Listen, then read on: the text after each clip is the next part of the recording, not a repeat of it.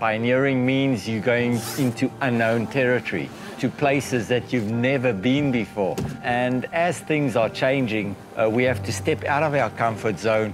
And that's exactly what Mercedes-Benz does with the EQ concept. They are pushing the boundaries of mobility to the future.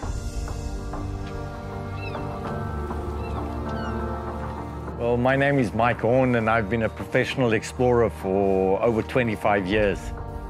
You know, exploring your passions, you have to inspire people. And Asia has always been a driver of technology and innovation, and that's very inspiring. It allows me to explore and develop new frontiers in my passion for adventure.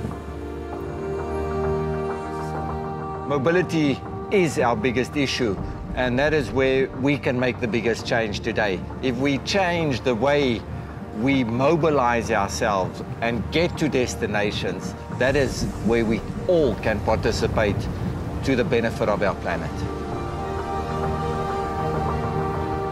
Mercedes-Benz takes more than 130 years of know-how and technology and transfers it to the EQ, and that's what makes it so unique. Electric now has a Mercedes. When power meets silence and you start accelerating, when everything's set perfectly and that almost soundless force makes you move forward, that's exciting. That's what I love about sailing and EQ.